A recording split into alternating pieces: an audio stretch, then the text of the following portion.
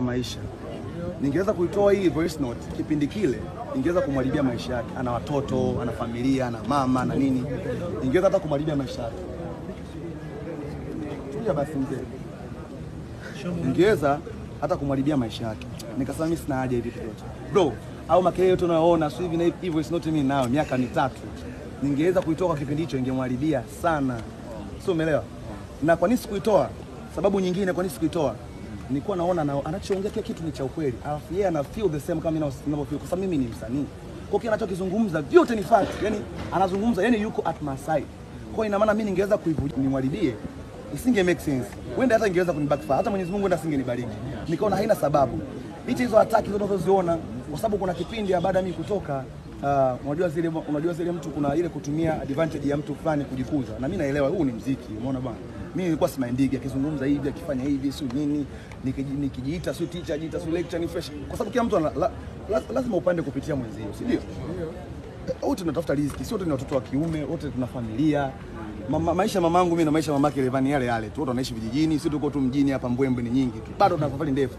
Tuna watoto, mimi na mtoto, yana mtoto, ndio kuna safari ndefu, si bado ni wadogo, umeona. Kwa mimi nilikuwa si mind na fresh ana noma fresh, mimi hata mchopa, anambia fresh anatafuta riziki, umeona, fresh na noma, as long as kwamba ina affect mimi kwa kiasi hicho, fresh na noma ndo chanzo cha kuto kuivilisha hii voice note. Ila ukizungumza kwa makini, kama mimi nilikuwa ni mbaya, Rayvanny asingeweza kunipigia simu na akazungumza hivi.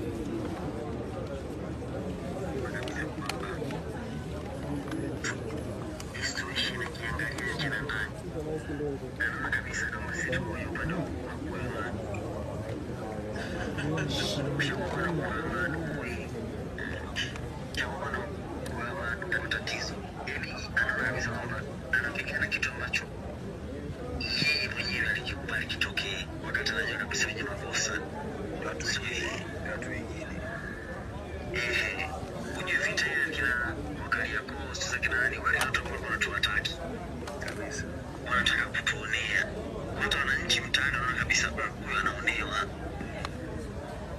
sasa wanaonewa ya watu wanagaiana.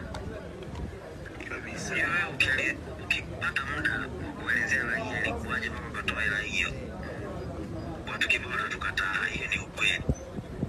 Kabisa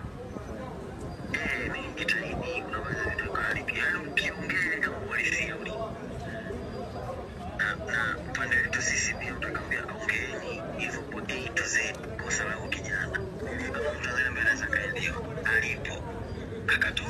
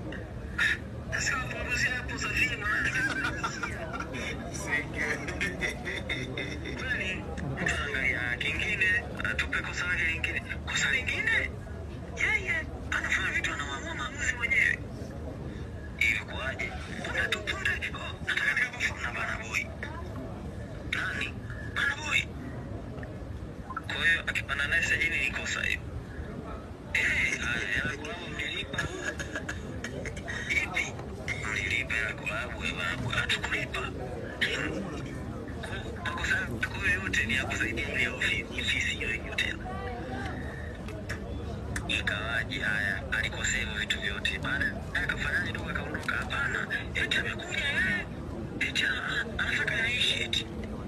Sisi tunasema haiwezekani Jamani, Pandele, kiukweli kiukweli tupigia tu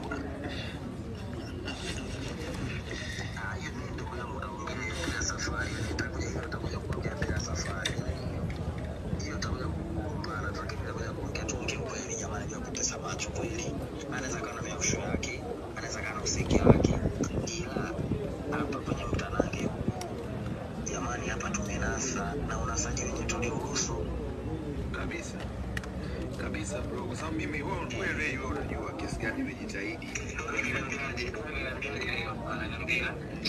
mwanangu. Mwanangu. Huyo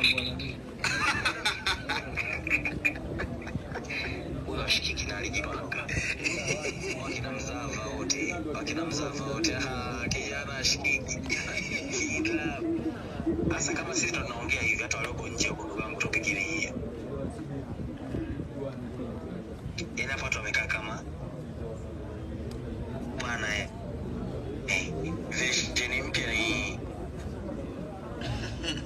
sasa naogopa hiyo. Tukiangana vesheni ni mpya sasa hivi vitu vimehusu wenyewe na vitu kwa sababu anakwambia yule wakali yako strategy hana hela hana ngoma hana matashtiti anajibu tu vitu ajijui ajitambui lakini yako bado anapawa afa chochote akiongelewa tu makampuni anamtafuta ni sasa na kimbingi ambaye mtu ambaye anajua plani zenu anajua mtapinduka vipi na anajua hapa ajiongeze wapi?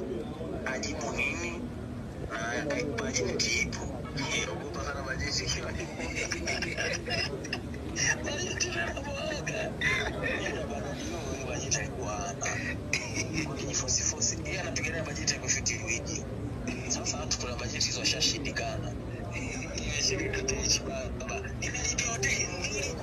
hivyo snoti ina dakika 40 si umeelewa? Dakika 40 ina maana na vitu vingi alivyoongea kwa uchungu kama msanii mwenzangu na mimi hiyo muda wote miaka mitatu sikutaka kuitoa kwa sababu alikuwa anazungumza kitu ambacho kina make sense na yuko at my side.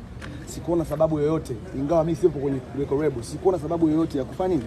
Ya kuivujisha kwa sababu ilikuwa "Ah, hasa mtu anaongea na wewe ana, ana, ana feel sorry yani anajisikia vibaya halafu kwa nini unavujisha voice note yake?